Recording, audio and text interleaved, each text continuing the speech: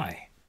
In the previous video, we looked at part 1 on probabilistic sensitivity analysis, which was the introduction. Now we're going to look at analysing and presenting the results. In a probabilistic sensitivity analysis, or PSA, we define distributions for parameters for our model. We then repeatedly sample from those distributions and recalculate the model results for each set. It's good practice after you've generated those samples to inspect them using summary statistics and or histograms to make sure that the distributions you've used are correct. One way that you can present the results of a PSA is by using the mean results across the simulation sets. Present a table of cost effectiveness results as for the base case, but use the mean costs and benefits from the PSA. You can also provide the credible intervals for absolute and incremental costs and benefits, like I've shown in this table on the right. When it comes to incremental cost effectiveness ratios, or ICERs, it is possible to calculate ICERs from the mean costs and benefits, but you should not calculate ICERs for each parameter set and then calculate the mean ICER from them. With incremental net monetary benefit, you can calculate that from the mean costs and benefits or calculate the incremental net monetary benefit for each parameter set, and then calculate the mean across them. These will give the same results, unlike for ICERs.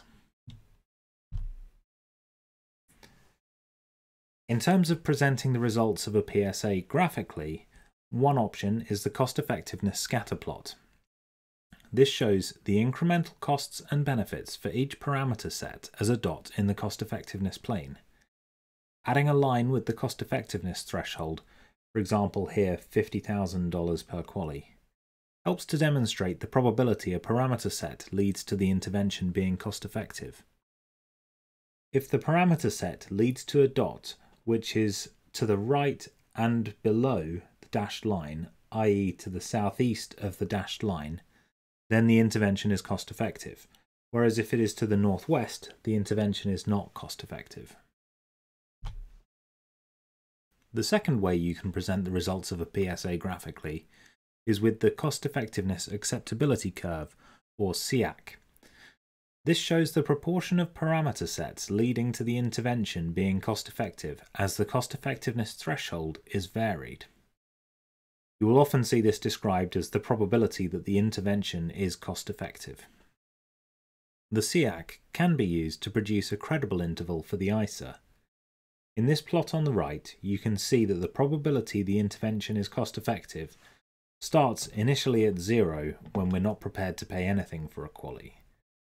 This suggests that it is well established that this intervention costs more than the comparator. As we are prepared to pay more and more per QALY, the probability the intervention is cost effective increases. However, it doesn't approach 1, which means there is still some uncertainty about the benefits. Um, and it is possible that this intervention could lead to negative benefits versus the comparator. A 95% credible interval for the ICER would be found by looking at 2.5% on the y-axis and tracing along to find the cost effectiveness threshold. This would give the lower end of the credible interval, and in this case there would be no upper end.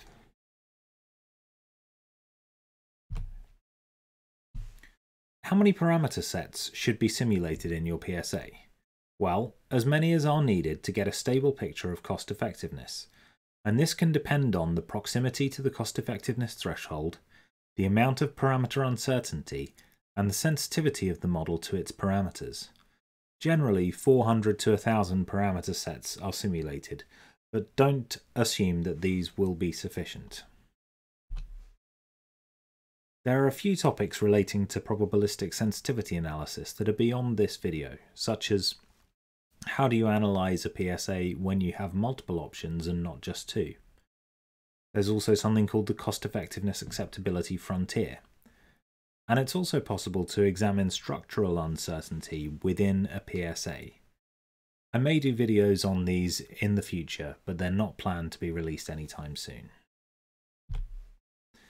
Your next steps are to learn how to produce cost-effectiveness scatter plots and CEACs in Excel and R, or to dive deeper into the parameter distributions used in probabilistic sensitivity analyses.